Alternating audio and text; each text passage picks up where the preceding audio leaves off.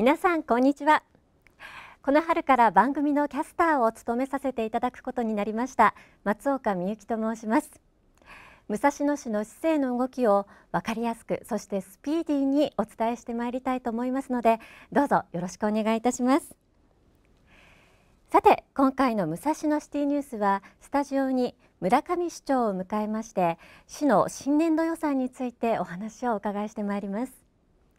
また3月10日に開催されました第31回児童館演劇フェスティバルと3月12日に開かれました緑の市民講座キッチンガーデンを始めようの模様も合わせてご紹介いたしますどうぞ最後までごゆっくりご覧くださいそれではまずはじめに新年度予算についてです武蔵野市の平成25年度一般会計予算は577億9000万円。これは前年度に比べ金額にして21億4000万円。比率にして3.8%の増となっています。景気回復の期待は高まりつつありますがまだまだ厳しい経済状況が続く中での今回の予算だけに第5期長期計画の事業を着実に推進していくことを目標に限られた財源を重点的かつ効率的に配分した予算となっています。それではこうした今年度の予算のあらましや具体的な事業の内容などについて村上市長に詳しくお聞きしたいと思います。どうぞ市長よろしくお願いいたします、はい、よろしくお願いします。今日は市の新年度予算について詳しくお聞きしてまいりますがまずは今年度の予算編成の特徴はどういったところになりますでしょうか？はい、えー、平成25年度のですね予算はですね、えー、確かな未来へ活力と創造性のある都市を作る予算と位置づけました。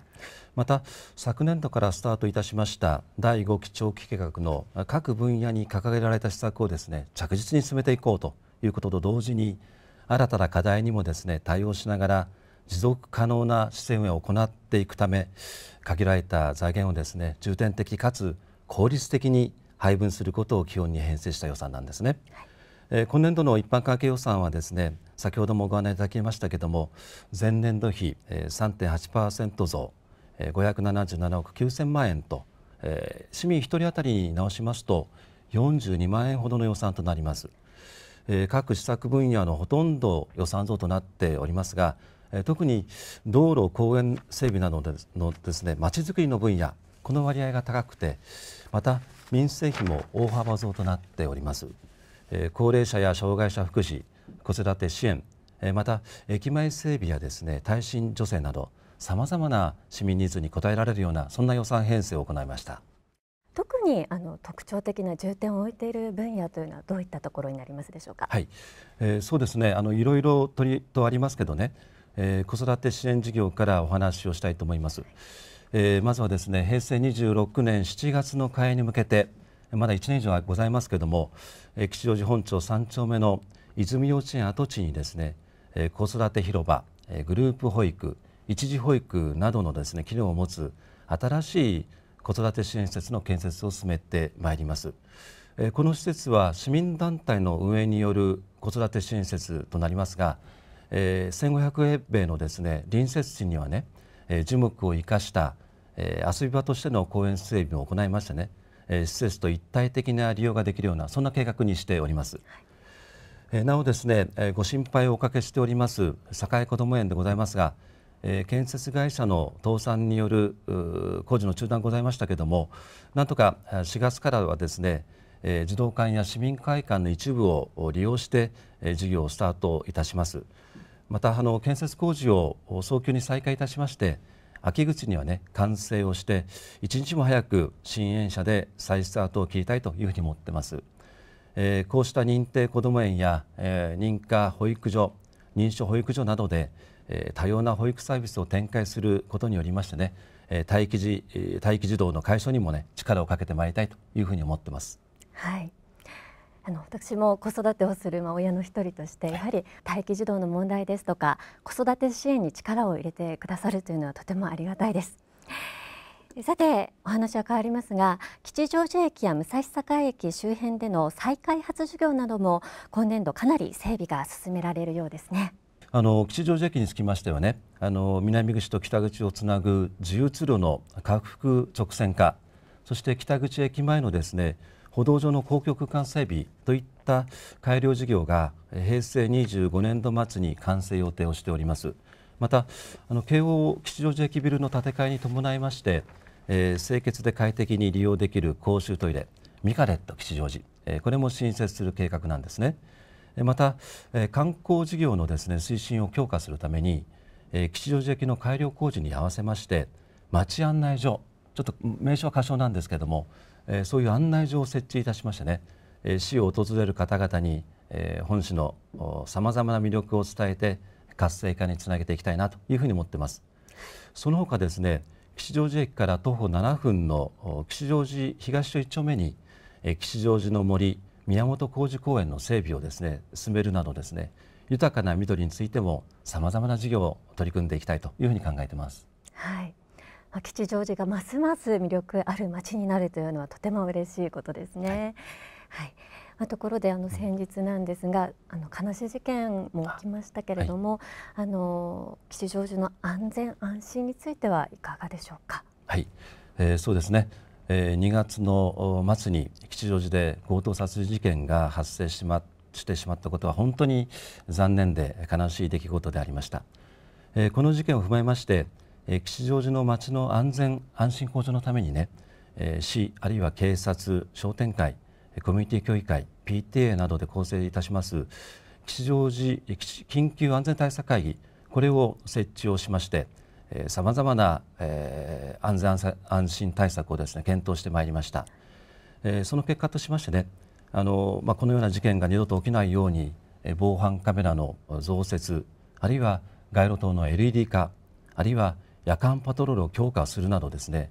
えー、ハードソフトの両面からさらなる安全対策を重ねていきたいというふうに思ってます。また首都直下地震、えー、などの発生時にはですね吉祥寺駅周辺では、え、帰宅困難者が多く発生するだろうというそんな課題もあるわけでございますので、えー、去る3月にはですね、え、帰宅困難者対策訓練これを初めて実施させていただきました。え、また、え、近々ですね策定予定の、えー、地域防災計画に基づきましてね災害への備えも充実をして安全安心な町吉祥寺を目指しまして市民が住みやすくそしてまた訪れる方々にとっても楽しんでいただけるようなまちづくりを進めていきたいなというふうに思っています。はい、なおですね今年は第5基調企画の2年目の年となります。健康福祉環境教育などですねさまざまな施策もですね着実に推進してまいりますのでどうぞご理解ご協力をお願いしたいと思います。はい市民の皆さんの声を聞きながらきめ細かなさまざまな事業を手堅く推進してより良いまちづくりをということですね。そうですね。はい。今日はどうもありがとうございました。はい、ありがとうございました。今年度予算のポイントや特徴ある事業を分かりやすくまとめた冊子平成25年度武蔵野市予算の概要は市役所市政資料コーナーと各市政センターで配布しているほか市のホームページでも閲覧できます。お問い合わせは財政課電話番号60-1803までどうぞ。それでは続いて3月10日に市民文化会館で開催されました第31回児童館演劇フェスティバルの模様をご覧いただきましょう。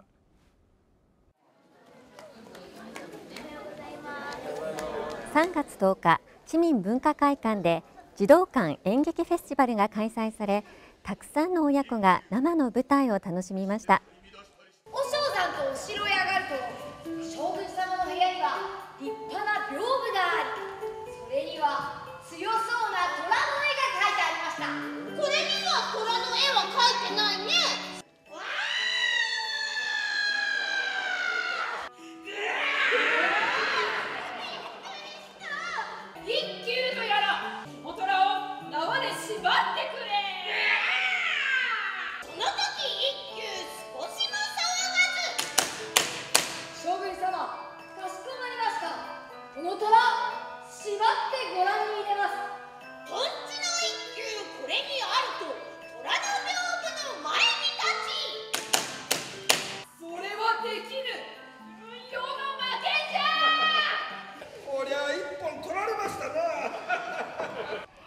31回目を迎える今年の演目は劇団芸友座によるお芝居一休さん。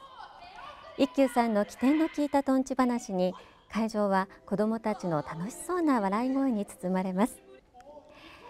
子どもたちに演劇を楽しんでもらおうと桜堤児童館主催で毎年開催されている児童館演劇フェスティバル。演劇鑑賞を通し子どもたちの心の中に豊かな感性が育まれていってほしいものですね。それでは次に3月12日に行われた緑の市民講座キッチンガーデンを始めようの模様をご覧いただきましょう。楽しみながら身近な緑化活動をと年4回開催されている緑の市民講座。3月12日には園芸研究家の御倉滝子さんを講師に招いてベランダガーデニングキッチンガーデンを始めようと題した講座が開かれました。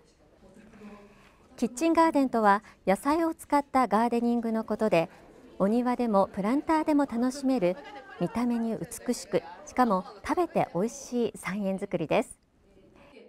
水はけさえ良ければ鉢底石なくてもいい場合があります。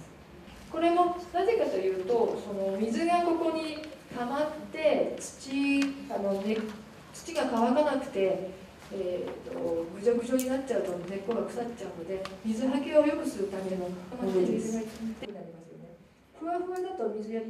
この日は御倉さんがこれまでに手がけたキッチンガーデンを紹介した後野菜の選び方や植え方などを実演を交えてアドバイス。パセリやミニトマトもローズマリーなどの花も楽しめるハーブと寄せ植えするとぐっとおしゃれな雰囲気になるそうです。すぐにでも始められそうなキッチンガーデン。